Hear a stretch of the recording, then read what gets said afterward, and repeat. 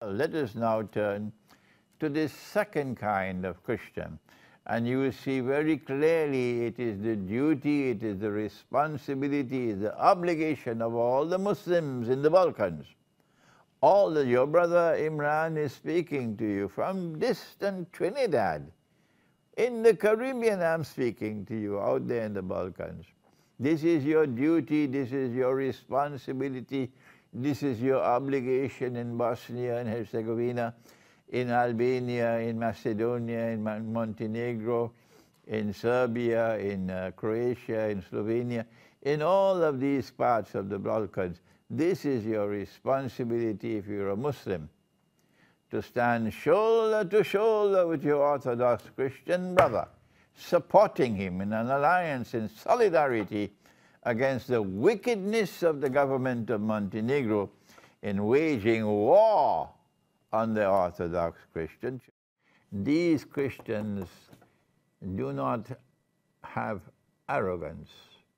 They don't have the arrogance of those who want to rule the world from Washington and from London and Paris. And so Venezuela must bend its knee before them, and Bolivia must bend its knee before them, and Russia and China must bend their knees before them, and Iran must bend their knees, and Korea must bend their knees. And whoever does not bend their knee, we will wage war on you, you are rebel state, you are terrorists, and all kinds of rubbish. That's right. These Christians will be closest in love and affection for you would not be an arrogant people. They would not have this arrogance of wanting to rule the world and impose their full spectrum dominance over all the rest of mankind.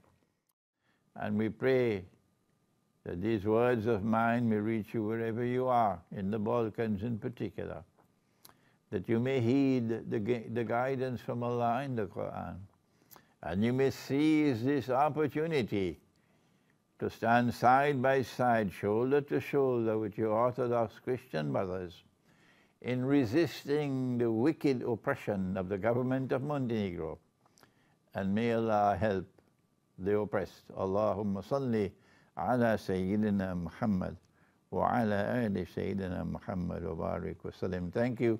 Wassalamu alaikum wa rahmatullahi wa barakatuh.